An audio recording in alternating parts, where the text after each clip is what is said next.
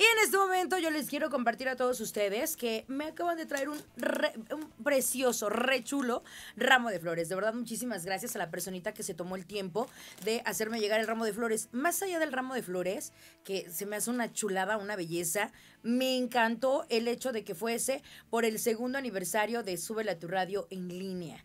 De verdad, muchas gracias a la personita que se tomó el detalle y me encantaría saber quién es porque yo me emocioné, porque yo pensé que era cierta persona que me la había mandado y este, pero no trae nombre. No trae nombre y yo quiero saber quién es la personita que me envió estas flores. De verdad, muchísimas gracias por estar pendiente, muchísimas gracias por escuchar, muchísimas gracias por el apoyo, muchísimas gracias por el detalle. Em, híjole, de verdad es que sí me emociona que tomen en cuenta que ya son dos años de este proyecto, que no ha sido fácil, que a, lo mejor ustedes lo ven como, como nada más puro divertimento, pero hay mucho trabajo de fondo de muchos chicos de la primera temporada, de Wendy, de Renato, de Leonardo, de... Mm, ay, se me fue el nombre. De Ronaldo, perdón, gracias Renato de la segunda temporada también, de mis niños que anduvieron por acá, desde Anita, Carlita, de Yair, que estuvo mucho tiempo apoyándonos en, el, en el, espacio de, de, del chismecito, de verdad, muchísimas gracias de que han sido dolores de estómago, han sido desmañanadas, han sido carreras, ha sido hacer muchísimas cosas en redes sociales. Durante un año anduvimos en todas las redes sociales, yo andaba ya en las, en las redes sociales y, y, junto con el equipo, y Renato no me va a dejar mentir, ojalá pudieras venir Renato, vente para acá, vente para acá porque Renato es el, chico, eh, es, fue uno de los, de los que iniciaron conmigo en este proyecto eh, y que él sabe lo difícil que era, que trabajábamos desde temprana hora. ¿Hasta qué horas todavía me, me mandabas material, mi queridísimo Renato? Vamos a quitar este, pásalo por ahí adelante, por favor. ¿Hasta, ¿Hasta qué horas todavía me llegabas a mandar material, mi queridísimo Renato? Había ocasiones en las que trabajábamos hasta las 11, las 12 de la noche. Porque llenábamos también los portales. Sí, trabajábamos muchas partes. Hacíamos muchos diseños. Sí, muchos diseños. también las fotografías, todo era diario. renovarlo mucho todo el tiempo. Exacto, nos encargábamos también de rotular todo. Entonces, este, todavía a, las 11, 12 de la noche estábamos revisando todo lo que se tenía que hacer para el siguiente día, porque no solamente era el programa de radio, sino que también, pues, alimentar todas las redes sociales y sacarnos las fotitos, ¿te acuerdas? Que también, pues, eh, casi todos los días eran tomar fotos y buscar la forma, buscar el dónde, para que se vean divertidas. Y para no hacerlo monótono, porque siempre éramos como que poses nuevas y eh, innovar mucho en eso también. Y también buscarle que era una para Instagram, una para Twitter, una para este para Facebook. Y después ya vino el famoso TikTok y hacer lo que eras aquí. Nos íbamos hasta las 4, 4 y media de la tarde. No me va a dejar mentir. Carlita luego me mandaba mensaje porque yo me quedaba preocupada. Carlita se iba, eh, ella vive por la zona de Amalucan y me escribe y me decía, son las 7 de la noche, voy llegando a casa. Nada más para avisarte que voy llegando y que en un ratito te mando material. Así funcionábamos. Por eso estoy tan agradecida con todos ustedes, con cada uno de los que ha estado y que ha pisado esta cabina, a los que hicieron la, la, la, este, la tercera temporada conmigo, a Charlie, a Gabo, a mm, quién más me falta por ahí, este, a Alejandra, después a Alice Briñañiz, eh, Alejandra, ah, sí, Ale, Ale, que también todavía se quedó con nosotros y está aquí en, en La Romántica también, a Gaby, también Gaby Mendoza, le mando un abrazo, a Anita también, le, le, mando, le mando un saludo a Ana y también eh, con muchísima fuerza a mi queridísima Ana Brenda, que también fue productora en la primera temporada, la que se fletaba muchísimo era Wendy, en la segunda Carlita, en la tercera Carlita, en la cuarta temporada Brenda, este, y, mi queridísimo Charlie en la temporada número 4 y quedándose también. Fue la 3, Brenda, ¿verdad? Tú estuviste conmigo en la 4, ¿verdad, Charlie? Ay, ya me estoy hasta norteando con esto de las temporadas. Mi queridísimo Charlie en la cuarta temporada, quedándose conmigo ahorita en la temporada de verano y ya de manera formal, ¿verdad? Haciendo producción porque se queda conmigo para la temporada número 5 junto a Diana, que ambos hacen un buen dúo para sacar adelante la producción.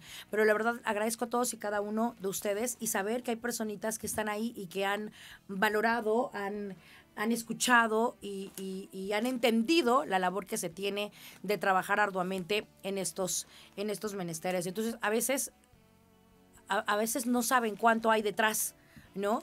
Y que a veces con las herramientas que se tiene, este, pues trabajamos. ¿Te acuerdas, Renato? ¿Cómo empezamos en la cabina? La, no teníamos la computadora, la consola era. Hasta el espacio era diferente. El espacio era diferente, era. Si ahorita lo ven o sea, a mí me tocó como que el antes y el después porque hubo un tiempo en el que no estuve y fue como que un gran cambio también. Sí, no, ha, sido ahí todo, todo lo que hemos tenido. Así que les agradecemos profundamente a todos aquellos que han compartido, se han quedado, a todos los redescucha, los que luego menciono que son como que los consentidos, pero en realidad todos son consentidos de una u de otra manera. Nada más que con unos ya hicimos familia porque están constantes. Teresita Aragón, Teo Aragón, mi Lucy, mi Lucy Georgina, que a veces nos abandona, pero ahí anda. También eh, hace mucho tiempo había una chica que se llama Magnolia, que era de todos los días y que luego me saluda en redes sociales. Este, también le mandamos besito a Magali, que ahora ya, este, también ya me dejó de quererme, ya quiere más a George, a Jorge, que también ya me quiere poner los cuernos con Diana, a, a, quién más, a Sandy, que es constante y sonante, constante y sonante, siempre están a las que andan por ahí también, a Fátima también por ahí. ¿Quién nos falta? Porque si no, luego nos van a regañar. A Mari Carmen hasta Estados Unidos, a Manu también. Mari Pollito. también siempre está, ¿verdad? Este, también a Alex, que está en Ciudad Juárez, Chihuahua. Bueno, a todos y cada uno, y si se me pasa alguno, de verdad, discúlpenme, son tantos y tantos que son del diario, que están manifestándose a través del 22, 23, 77, 81, 69. ¿Y a quién ha mandado las, las flores el día de hoy? Muchísimas gracias. Y en representación de todas las generaciones, se encuentra en este momento Renato, pero todos en, algún momento van a pasar acá para, para decir también sus palabras. ¿Tú qué le dices en representación de todos, mi queridísimo Renato, el día de hoy? Que, que tú nos viste, cómo, cómo le empezamos, cómo le, le sufrimos para la primera temporada. Y no solamente verlo, sino también el estarlo viviendo es una experiencia completamente distinta a lo que uno se imagina. No lo hemos mencionado, Renato, pero aparte también sufrimos el COVID. Sí. O sea, estábamos con el proyecto y estábamos con lo del famoso COVID y era de que se enfermó, se enfermó este Wendy. Wendy, tú, yo. Te enfermaste tú y este. Es que somos muy compartidos, yo creo que fue eso. Y aún así, no soltábamos el proyecto. Sí. Aquí seguíamos al pie del cañón. Y todavía cuando estuvimos, terminamos nuestro proceso ya como tal, seguimos unas semanas ah, todavía aquí y fue como que eh, para poder terminar la temporada y siempre dar el mejor producto. Exactamente. Bueno, pues ahí está un poquito de lo que queremos, que, queremos compartirle con ustedes cuando son las 10.55. Gracias, Renato. Te encargo que te lleves por ahí mis florecitas. Y miren, por acá les, les muestro la tarjetita que a mí me emocionó sobremanera porque pues dice aquí una felicitación por el segundo aniversario online. Eh, gracias a la personita que me hizo llegar ese detallito. De verdad, muchas gracias. Y en corto, rapidísimamente, les voy a platicar el chismecito que se queda acá, que el chismecito del día de hoy es hablar que ya llegamos a una, a dos años, a dos años de andar trabajando en línea para todos ustedes. Pásame para acá el florito para que no se vea tan, tan pelón este asunto del escenario. Dos años que ya estamos con ustedes, echando también muchísimo chisme. Oigan, algunos eh, siguen en, en proyectos, algunos están comenzando proyectos y otros más dicen adiós. Tal es el caso del detector de tal? Estamos hablando de Jay de la Cueva, que anuncia su salida de Moderato. Dice que no ha sido sencillo, pero que ha tenido que tomar esta decisión. Oigan, estos cuates de Moderato es, toda una cosa curiosa. Ustedes recordarán que se integra por diferentes chicos músicos que han estado en grandes agrupaciones, como Caifanes, como Microchips. Ayer, ayer que veía la nota de, de Jay de la Cueva de que ya se salía, le ponía ahí a, alguno de sus seguidores, le decía, bueno, entonces ahora que sales de Moderato, pues ya no, que regrese Microchips. ¿Se acuerdan de esas canciones. A ver si buscan por ahí una canción de Microchip, este, para que la dejemos puesta, no para que la fundemos, para que no nos quiten, para que no nos bajen el, el video, pero para que se acuerden ustedes de esta agrupación de hace algunos años, creo que sí, también fue en los 90. Y bueno, dice que ya no habrá más detector de metal después de casi 20 años juntos. Ya no será su líder. Eh, ya no estará ahí, quien a través de un video publicado en sus redes sociales, ya ven que ahora todo se anuncia así directamente, abandona la agrupación y diciendo lo siguiente, hola a todos los que me hacen el favor de verme y escucharme por aquí. Tengo una noticia importante para mí que compartirles. Voy a despedirme de mi alter ego, voy a despedirme de esa voz dejando moderato. No ha sido una decisión sencilla, puesto que no hay nada negativo, todo marcha increíble. Supóngome que necesita un tiempo para sí, para la familia, como lo decíamos el día de ayer de Edwin Cass, quien menciona que va a recuperar a su familia, haciendo un paréntesis decís que va a recuperar su familia, que va a recuperar su paz, su estabilidad. No dijo nada de la familia, eso ya, lo inventé yo, una disculpita. Pero sí dijo que quiere recuperar su, paz, estabilizarse otra vez y dejó entrever que regresaría con, con Grupo Firme. Yo no lo creo, aunque yo creo que sería lo más indicado porque honestamente la agrupación ha funcionado porque están todos integrándolo. No sea que no le vaya bien cuando ya esté como solista. Y bueno, en este caso también Jay de la Cueva, creo que ya lo ha trabajado mucho, creo que ya se divirtió también demasiado, ¿no?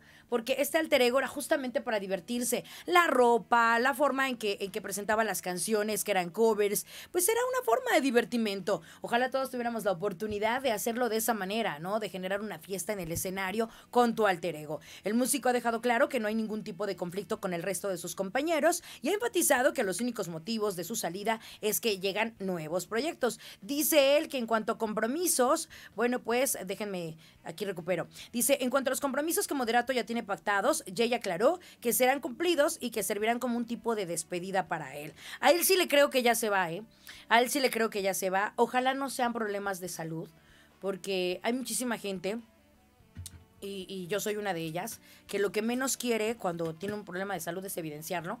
Entonces, este, ojalá y no sea eso y realmente sean nuevos proyectos y que él siga disfrutando, bailando, cotorreando en los escenarios y desearle lo mejor y el éxito, que seguramente así será, porque ha sido para divertimento de muchos, muy agradable ver a los Moderato con otras versiones de canciones que también cantamos y que también disfrutamos. Entonces ahí está el anuncio, Jay de la Cueva se va del grupo Moderato. Ahora, lo que no queda claro, no, por lo menos a mí no me quedó muy claro, si es que se desintegra todo Moderato o simplemente él se va de Moderato.